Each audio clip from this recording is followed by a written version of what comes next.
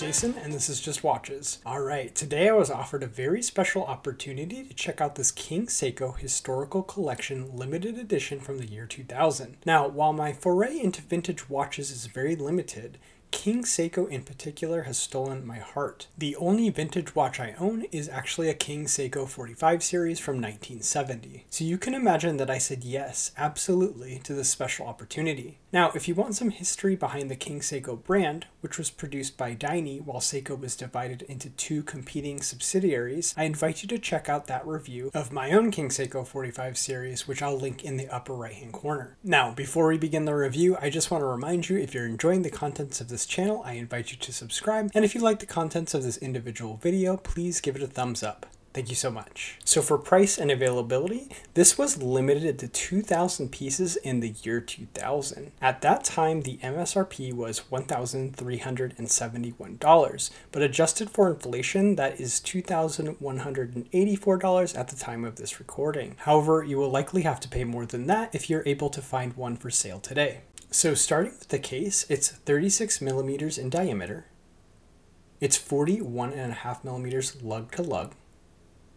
It's only 11 millimeters of thick, and 1 millimeter of that is the sapphire crystal, and then the lug width opening is 18 millimeters. Now, this case design is the brainchild of Taro Tanaka, who developed what is known as the grammar of design at Seiko. This called for mirror like, high polished, flat surfaces that perfectly reflected light and did not cause visual distortions. It also called for unique case designs. You can see the influence of this policy in modern Seiko as well, especially at the Grand Seiko level. Now, Zaratsu polishing, which is present on this watch, produces the extreme mirror-like finish that is present on the bezel, top, and sides of this case. It is difficult to capture on camera, but this watch gleams in person. This reissue really feels like a vintage King Seiko, but at least compared to my own vintage King Seiko, everything has been turned up to 11. Now, this is not the original strap. The original strap did come with this watch, but I don't want to risk any damage to the lugs during a strap change, so I just left it on this Veblenist, very dark blue leather strap. It's a lovely pairing to this watch, and in fact, I think this watch with its very neutral colors will be an absolute strap monster.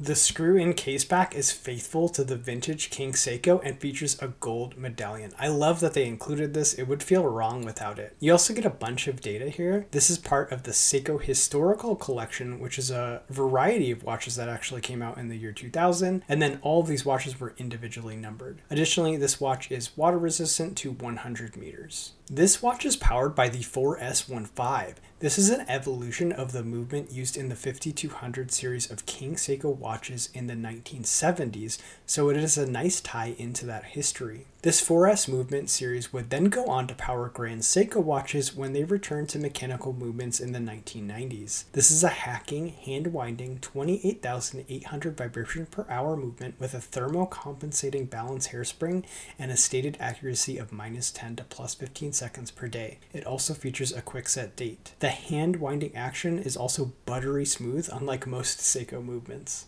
The 5mm push-pull crown is signed with KS for King Seiko, and that is high polish against a deeply etched satin finish. The crown is small but proportional to the 36mm case and fits the style of the watch. The flat sapphire crystal is perfect and has the same large faceted edge that my King Seiko from 1970 has, which adds a layer of visual interest to the watch overall. Seiko also has some of the best anti-reflective coatings that I have experienced in person, and this watch takes it to another level. While the facet is clearly visible due to the distortion of the dial, the crystal itself is almost invisible. This really lets the dial hands and indices pop. The rehaut is finished to the same mirrored perfection as the rest of the case, which is striking in person. The dial is also true to its vintage inspiration, a very subtle champagne with an equally subtle sunburst effect. We have Seiko applied at 12 with automatic below, and then an applied KS with high beat written below. I'm sad they didn't include the Daini symbol as well, but the printing is ultra crisp. The indices are also true to their vintage inspiration, faceted and finished to the same mirror finish as the rest of the case with a black center that really helps with legibility. The date window is also very nicely framed. The hands are also true to their vintage inspiration, gabled in mirror-like, high polished with a black center. All of the dial furniture and the hands are finished to an extremely high level that I'm not sure will come through over the camera. You really have to see this watch in person. If my 1970s King Seiko is in 1080p, this watch really feels like it's in 4K. I'm also happy to report the minute hand is plenty long, as is the second hand which reaches almost all the way out to the rehaut. The smooth 28,800 vibration per hour sweep is a nice touch as well, something I'm not used to on most Seikos. And here it is on the time graph right now. This watch is 21 years old. I believe it has been serviced since then, but we're getting excellent numbers. For one thing, this is the highest amplitude I think I've ever seen on a Seiko watch, and then the beat error is very low.